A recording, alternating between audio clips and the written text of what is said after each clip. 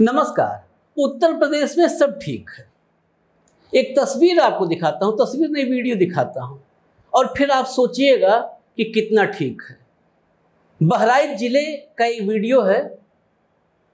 वहाँ पर अभिभावकों ने स्कूल भेजना अपने बच्चों को बंद कर दिया। आप सोच सकते हैं क्यों? क्योंकि स्कूल में अबोध बच्चियों की आबरू नहीं सुरक्षित थी। जरा ये वीडियो अब आप देखिए। बगल में वीडियो आपके चल रहा है। इस वीडियो में जरा स्कूल को देखिए पहले। ये स्कूल कम, कोई धार्मिक स्थल ज़्यादा लग रहा है। प्राथमिक स्कूल है, प्राथमिक विद्यालय, सरकारी स्कूल है।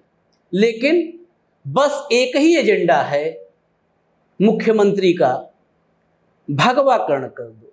यह भी नहीं ध्यान देना है कि कहीं इस भगवाकरण के चक्कर में धर्म, जिस धर्म को बचाना है, उसी धर्म पर धब्बा न लगाने का काम कर बैठे। भगवा रंग में रंगा हुआ है प्राथमिक विद्यालय और कुर्सी पे बैठा हुआ ये शिक्षक। ये इंचार्ज शिक्षक है बहराइच के विशेश्वरगंज में। शिवपुर बैरागी जगह है, वहाँ पर यह प्राथमिक विद्यालय है। ये शिक्षक अबोध बच्चियों के साथ इसे शर्म नहीं आई। ये इंसान की शक्ल में ये दरिंदा है। इसे जरा सा भी शर्म नहीं कि अबोध बच्चियों के साथ ये क्या कर रहा है। खबर सिर्फ़ इतनी नहीं है कि ये अबोध बच्चियों के साथ शर्मनाक कार्य कर रहा है। मैं क्या शब्द दूँ उसको? खबर इसके आगे है। वहाँ से अमृत विचार नाम का एक अखबार निकलता है। उस अखबार ने इस पूरी खबर को छापा। खबर जब मैंने पढ़ी, मैंने अभी पता किया, बात किया बहराइच तो बहराइच के हमारे एक पूर्व संवाददाता ने बताया कि इसकी हरकतें पुरानी हैं। ये शराब पी करके स्कूल में आता है। आता था क्लासरूम में, इंचार्ज शिक्षक है ये, इंचार्ज टीचर प्राथमिक विद्यालय का। आ करके शराब पी करके क्लासरूम में कपड़े उतार करके बच्चों के सामने लेट जाता था। इसके अलावा मतलब जो भी गलत हरकतें, अश्लील हरकतें होती है, सब ये करता था। ये बात छुपी नहीं रही। अभिभावकों को पता चली, दो महीने पहले, अब समझिए खबर क्या है। दो महीने पहले,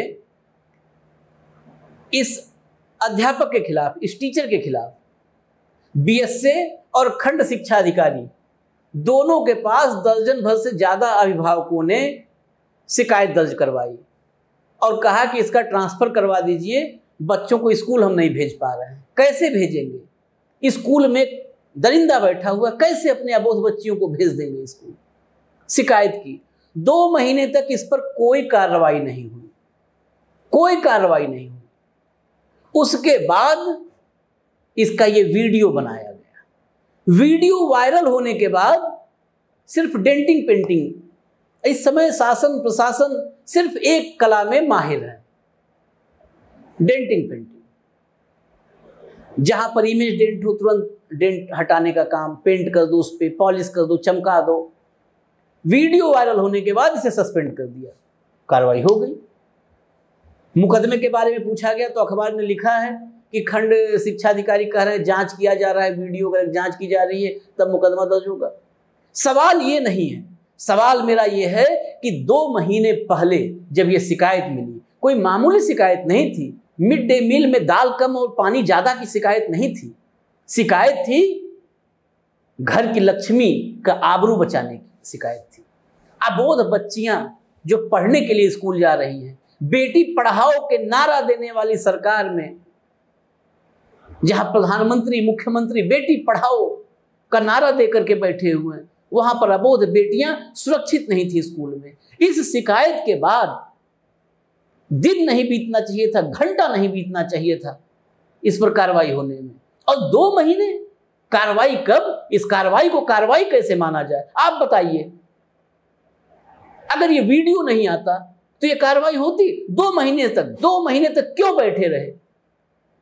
बेसिक शिक्षा अधिकारी, बीएसए को खंड शिक्षा अधिकारी को शिकायत के बाद क्यों नहीं कार्रवाई हुई? आप स्कूल देखिए। ये स्कूल स्कूल कम लग रहा है, भाजपा का दफ्तर ज़्यादा लग रहा है। रंग देखिए, बैकग्राउंड में आप तस्वीरें देखिए। दिख रही होंगी तस्वीरें बैकग्राउंड में।